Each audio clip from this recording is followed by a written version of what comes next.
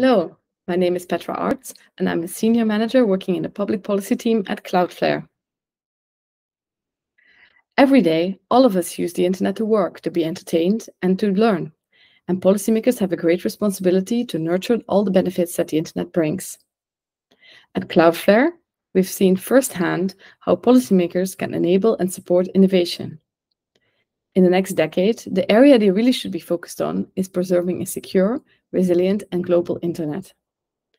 In the future, we want interoperable networks which are brought about by partnerships with various players, including telecom companies and ISPs.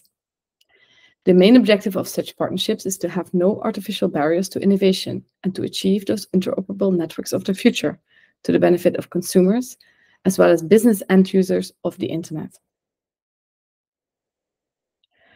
Complex and conflicting regulation is placing artificial constraints on the internet.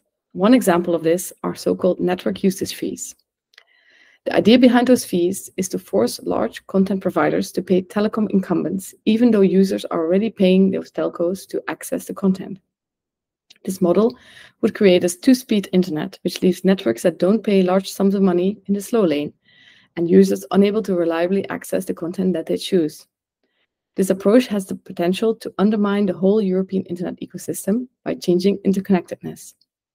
Cloudflare has always supported open interconnection policies. The more networks are interconnected, the more benefits for resilience and low latency. Cloudflare also believes that the networks of the future should be flexible and robust and able to respond to innovation. Any barriers to innovation are not beneficial for this development, including regulatory barriers. Policymakers in the private sector together can work towards ensuring the web is the one we want open, secure, and empowering innovation.